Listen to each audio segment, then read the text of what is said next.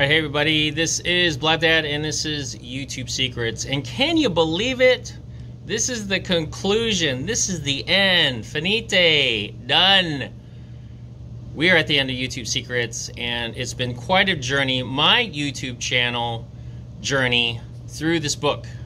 We've gone chapter by chapter, part by part, taking it apart, put it together, and now I'm going to go ahead and tell you the conclusion. So, as you saw in the last video, it was chapter 13 and it was think differently, think differently. So, um, now turning to this last video is called conclusion. Got my notes, and let's go ahead and finish up on this wonderful creation done by Benji Travis and Sean Cannell um, from YouTube Secrets. So, conclusion is Thomas Edison said, Opportunity is missed by most people because it is, because it is dressed in overalls and it looks like work. Let me say that again. Opportunity is missed by most people because it's dressed in overalls and it looks like work. If you're working and it feels like work, is that your passion? Is that what you believe in? Is that what you value?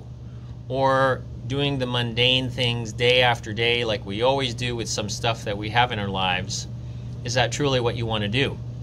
That's one of the reasons why I'm going through my YouTube channel journeys because I want to flip the script. Blab Dad wants to do more than just do what I'm doing right now. So as it continues uh, within this chapter, it says massive opportunity and massive action again, to see the potential on YouTube, if you've ever been on YouTube and you start scrolling through things, not just scrolling for a particular thing that you like, look at music and fashion and pop culture um, and all the other things that you may not particularly uh, have interest in and see how many people have interest in those types of things and why do they have those particular interests? Why are those videos so interesting? So let me continue. The bis- biggest misconception about YouTube success, and that is every YouTube creator, influencer, and success story has one common attribute an amazing work ethic. They hustle, hustle, hustle. It's all about hustle. And one of the things that um, I've learned on Instagram through Dwayne Johnson, who you saw in our last video, The Rock, uh, a wrestler from WWE, uh, he hustles. And you can see that he is one of the, the most popular entertainers of all time. He's always on Instagram, he's always doing something in order to engage his audience. And he's not embarrassed about it. You know, whatever has happened in the past, um, he brings that up because it's a learning tool that's made him hustle to be where The Rock is or Dwayne Johnson is right now in this part of his life. So that's just one of the many people. Um, even though he's not a YouTuber, that's just an example of what hustle means because that's what I'm. Uh, that's what uh, I equate the hustle by watching him grow through the years. When we talk hustle, we mean consistency. Consistently creating and optimizing your content, consistently engaging with people, consistently improving, getting better and better and better. Like in the last video, one of the, um, uh, someone mentioned different is better than better. Different is better than better. And that's what all that consistency comes from is what can you come up with next? What can you um, make different that people are going to notice you on YouTube so you get those views that will hopefully uh, in turn um, get you subscribers to your uh, to your YouTube channel. Through determination, commitment, and the right strategy, you too can experience huge success leveraging the power of YouTube. Again, since May, late May, um, I've consistently put out YouTube uh, videos, like this one right here. This is a series that I'm going through, uh, talking about YouTube secrets. And um, there is one video, and I can't remember the the one that I put out there, and it may seem small, but to me it's huge. Uh, I got 111 views. I was thrilled about that, and um, that one outperformed the other particular chapters of YouTube Secrets. I don't know why. And again, that's what the uh, you know the YouTube analytics and algorithm that you can look that up um, if you have your own YouTube channel and and find out why people like what they like for that particular video. So for me, that's very very exciting. Um, and I'm trying to leverage that YouTube in order to be like some of these big successful people who have gone on to be huge successes uh, within this uh, genre. Uh, now, I'm going to go through the actual book itself. So we wrap up what YouTube Secrets is all about. So I'm going to go to page 177 of conclusion and read it to you verbatim. In part one, we talked about the seven C's, which you do continually as you go through the stages of growing your influence on YouTube. Always tapping into a new level of courage, always clarifying and refining your message and brand, always improving your channel, always improving your content, always engaging with your community, and always finding new ways of generating cash, and always staying consistent. Realizing you must hustle your way to success. Then, in part two, we shared some actionable tactics and creative ideas for growing your channel, including leveraging trends, ranking your videos, and collaborating with other creative people. If you do what you love, you'll never work a day in your life. If you do what you love, you'll never work a day in your life. And there's some things that Blab Dad loves to do, and I'll mention that to you later. Um, but there's got to be some kind of passion that you have, and people go through stages of passion. What I thought I liked as a passion when I was a college student is not where I am all these years later. Uh, that has changed, whether and it's evolved. It's changed. It's evolved, and one of the things that people talk about that um, is always a consistent thing is um, death, taxes, and change. So those things never change at all. And you must embrace change. And sometimes it's hard for people because they like that consistency. Um, but as you've seen through the years of just technology itself, you know, a whole room like my classroom uh, would fill would be you know filled with a computer, for example and as the years have rolled, has gone by, computers have gotten smaller and smaller and smaller and smaller. And the computer that it's in front of you right now, that smartphone, that's a computer.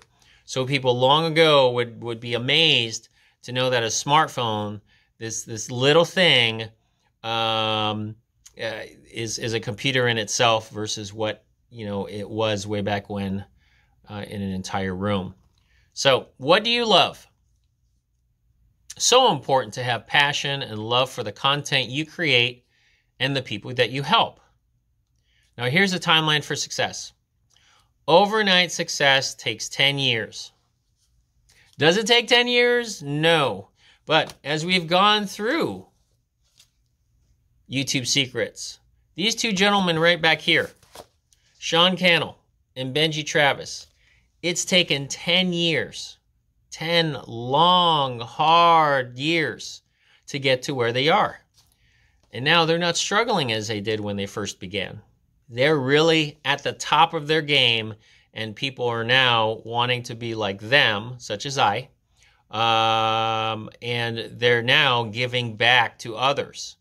And this is where people such as, uh, and I hope I don't butcher this, Barnacules Nerdgasm, he's a tech guy and it took him seven years to get up in the algorithm in YouTube to become popular. John Kohler, he has his own YouTube channel called Growing Your Greens. He had a lot of slow years before he got hugely popular. And then Judy Travis, that's Benji's wife. Two years of uploading videos straight.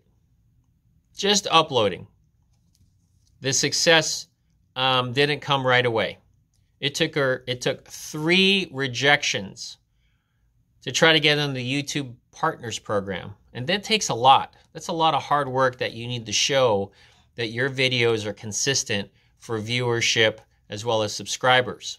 Three rejections.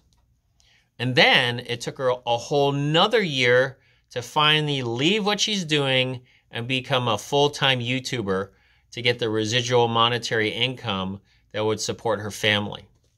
That's a lot of struggle. But Judy Travis made it, and so did her husband Benji. So greatness takes time, and I am a product of that. And I'm very, very proud of where I've been. And for me, uh, it started in, in aquatics. Uh, I love being in around the water. And so when I started way back in the day as a lifeguard, there was no future interest in taking what I did in aquatics and owning my own small company that deals with aquatics, lifeguarding, teaching CPR, teaching swim lessons, um, those types of things. I never knew I could make a career out of it. And I'm an entrepreneur. Filipino Student Association. I was their first president in 1993. Literally 28 years later. I'm obviously an alumni and I help out the um, past presidents if they want the advice.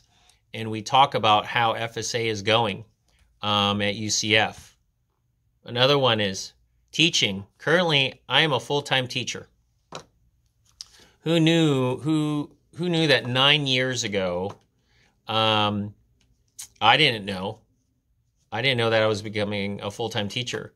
Um, I was, you know, becoming a substitute teacher to help supplement the beginning of our business, um, our safety business, and through those, you know, three years of substitute teaching, you know, in and around our county, um, I finally uh, took the plunge and um, I became a full time teacher. But that was only the beginning. if anyone knows anything about teaching in school, the first year, all you're trying to do is survive. You're just trying to survive. So I kind of equate that to boot camp. Um, have I ever been in the military? No. But what I mean by that is that those folks who want to be in the military, they have to go through this rigorous program of boot camp um, or maybe a specialization within their military branch. And you literally have to just survive and hopefully thrive in order to become great. And so here I am now. Um, let's see now. One, two, two and a half months now into the sixth year of teaching. And now Blab Dad feels comfortable being a teacher. I know what I'm doing. I feel comfortable. I'm confident.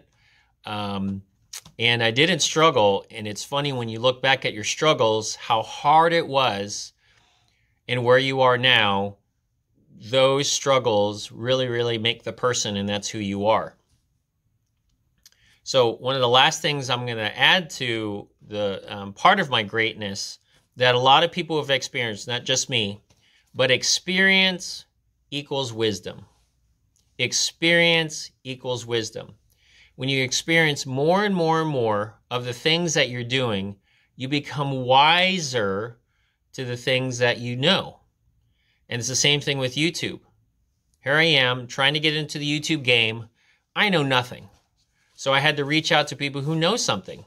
Thus, YouTube Secrets, Sean Cannell and Benji Travis, they've helped me discover another part of me that I that I didn't know existed. Now, have I been on YouTube before? Yes. Have I done videos before? Yes. Have I made a channel? Yes. To the extent of what I'm trying to do now in my YouTube channel journey, not even close. So, again, experience equals wisdom. And for both of those gentlemen, it took 10 years of experience to have the wisdom to make a book of YouTube secrets to have video influencers as their YouTube channel to help others become successful as they have become successful.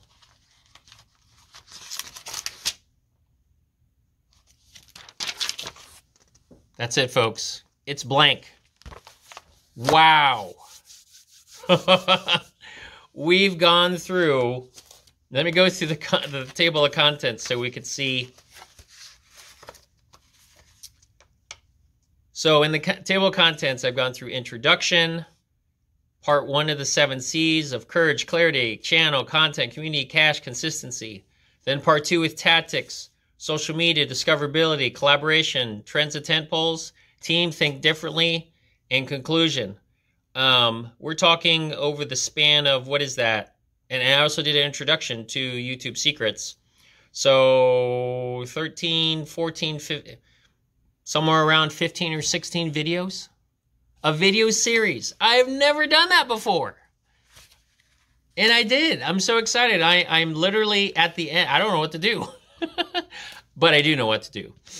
I'm going to make my YouTube channel uh, better um, than it's ever had been. Again, you're trying to do um, better than what you did before, the, like the day before, or whatever your experience is. So anybody could do it. If I can do it, you could do it. And uh, through the uh, my YouTube channel journey, I hope you all have had a chance to see all the videos. Hopefully, you've bought this book, YouTube Secrets, and go through your own YouTube channel journey just like I am. So you can hopefully one day become a success, um, have that passion and do what you want to do, have it monetized and be a work for yourself and um, and be a success.